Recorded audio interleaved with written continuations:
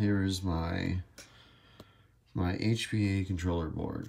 So we have, so this button is the switch, is the trigger for the gun. So you press it and it releases a pulse of however long you want it to be.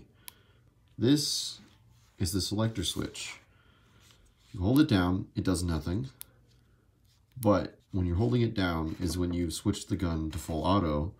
So when you hold down this button, which is the trigger, boom, full auto. Okay, so this is the progress currently. I have wires connected up to the trigger. So this safety, boom, no shooting. Boom. So when I hit that over, now that this is connected to the multimeter, this still works. Boom, boom, boom. Every time that hits, that closes this switch right here. So, boom, on, off, on, off, on. 3D printing! Another thing I did, okay, so this is the air cylinder. This is the inlet valve. This is gonna sit where this gap is currently. So when you put in air, it'll force this piston forward and then an internal thing opens it when it hits there. So it shoots a BB, comes back, BB goes up, pushes it forward, release of air.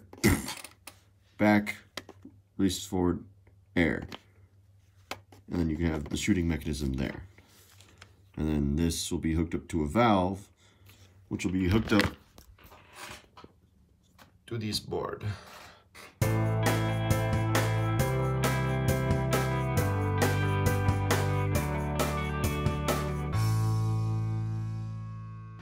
Okay, so this is how the quick swap of the air tanks works.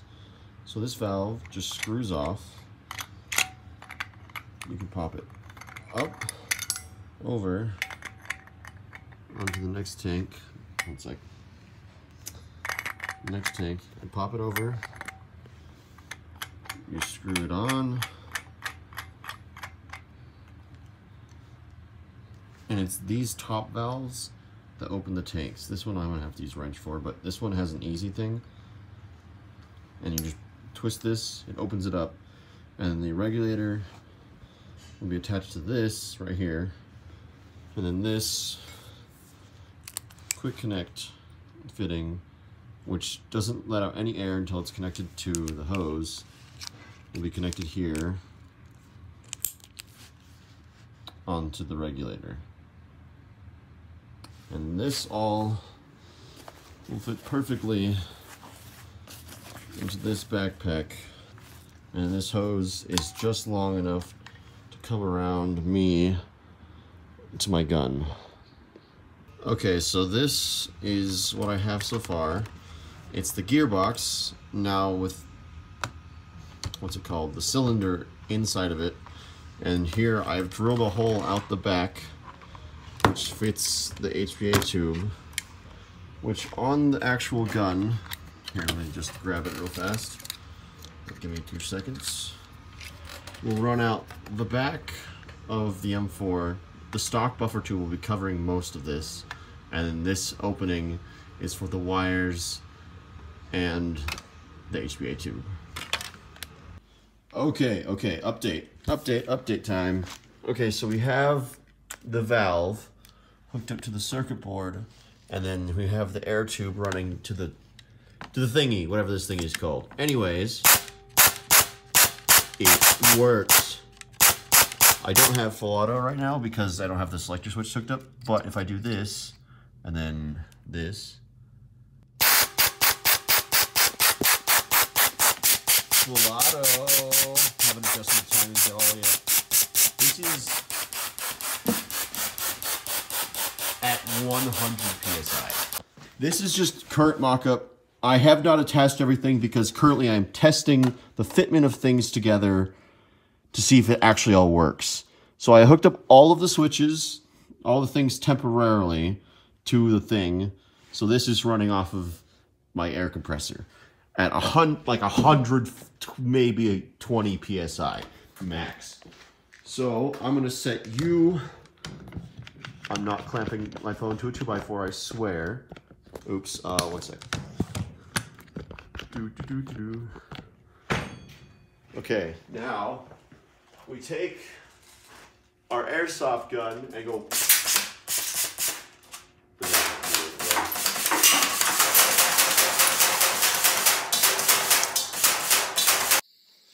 Okay, so this is the first real test of the janky thingy. Uh, I don't know what to call it. This bag is temporary. It's holding our Arduino and battery right now, and so is this tube. I will have a tank attached to my back, just I'm missing the fitting for the tank. Let's see if this works now.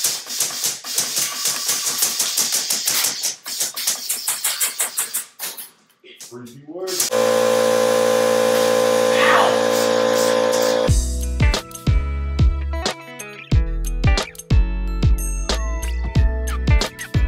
I finally have the final fitting. So I've attached it to there. It hooks up to this, which hooks up to the air hose, which will run to the gun. We should now see this. This is running currently at just over 200. I maxed it out already. And let's see if I set up this camera, how good our results will be. Let's grab the air. I might need to use my better fittings for this. Let's. Holy shit, that's hard. Oh, oh, it holds the pressure. Oh, that's sick. That's sick. That's sick. Okay. Let's get eye protection. Let's get eye protection. Um, that's a mistake and a half. I like my eyes.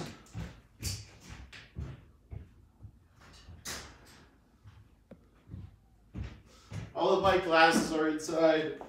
I have to use this sucker. Okay, this will work. This will work. We take the gun with its 200 psi and let's try it. Oh shit. Don't turn it on. Oh, technical difficulties.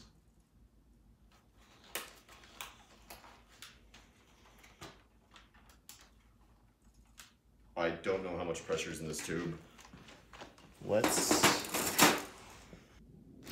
150. 150, boys. It works. Okay, okay, okay, okay.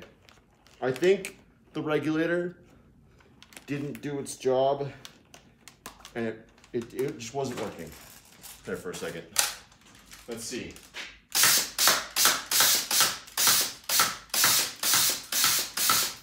It's running better.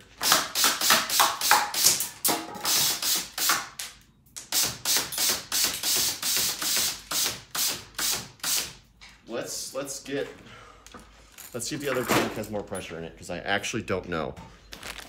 Okay, so tank one for testing did not work. Let's try tank two.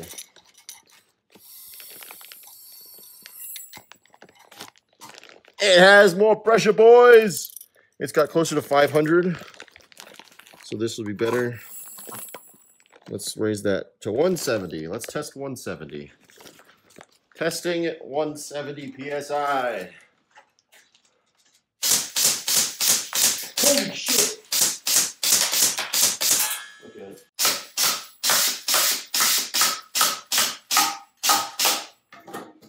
It's just as good as my AEG. It hits as hard.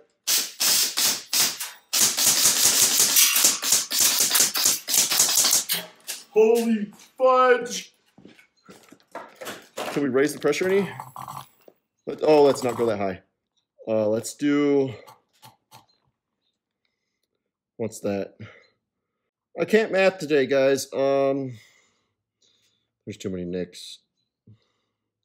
75, 180. This is 180. Holy crap. Oh, it doesn't work at 180. Um, let's lower it until it works. Works just fine around 170.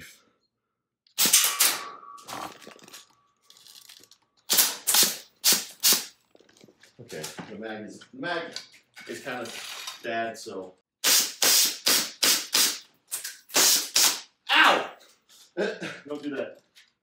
Here in the app is where you adjust the timings right here for the gun. And right now I'm gonna find the optimal timing for the gun. Okay, so it's not exactly pretty, but the whole regulator and tank fits right in this backpack. And out the side there comes the fitting for that tube. Okay, so we have here the completed, hopefully 100% completed doohickery and bob. I'm gonna shove that there. Let's take the fitting, the gun, touch it without losing much air. We have the boy. Let's see how she rolls.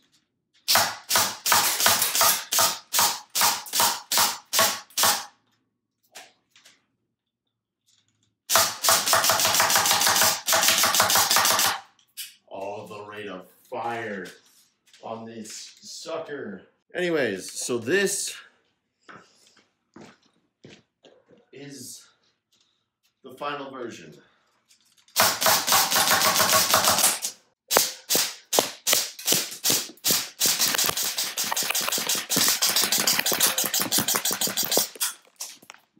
Mag 2. Let's see how many rounds I can get out of this one. If it was fudge and feed, because that's my fault. Anyways, that's interesting. We have about a mag and a half off of just that much air in the tank, which was 1200 psi, if I remember correctly.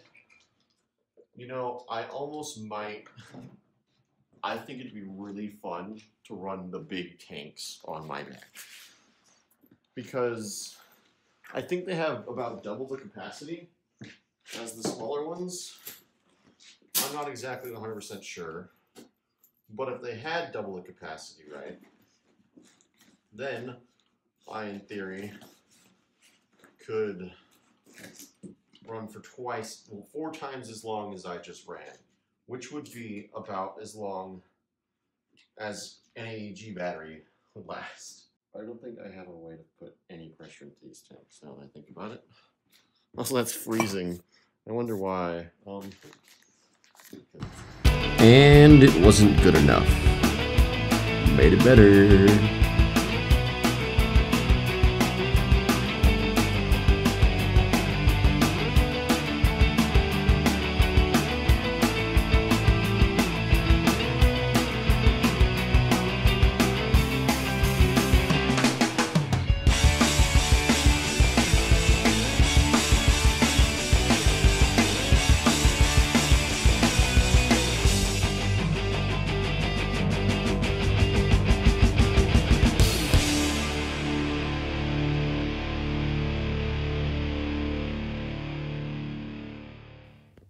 Okay, so this is the project that never ends. So what I've done is I decided that the stupid relay does not switch fast enough nor reliably enough.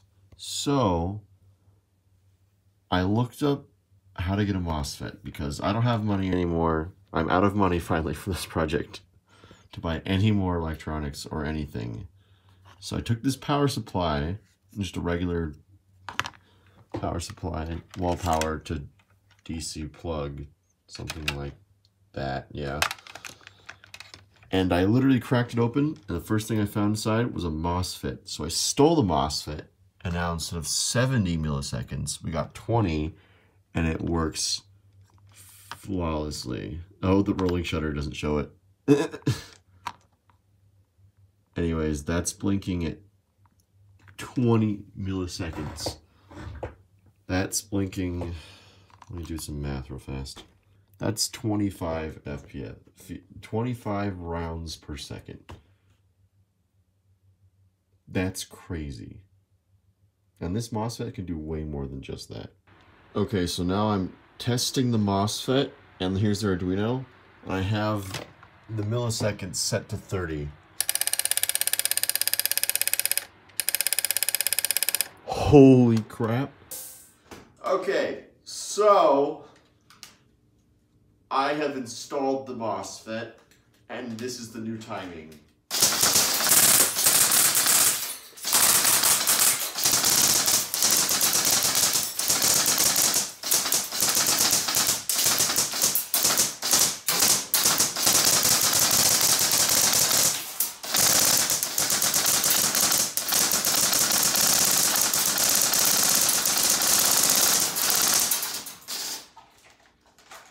Holy what?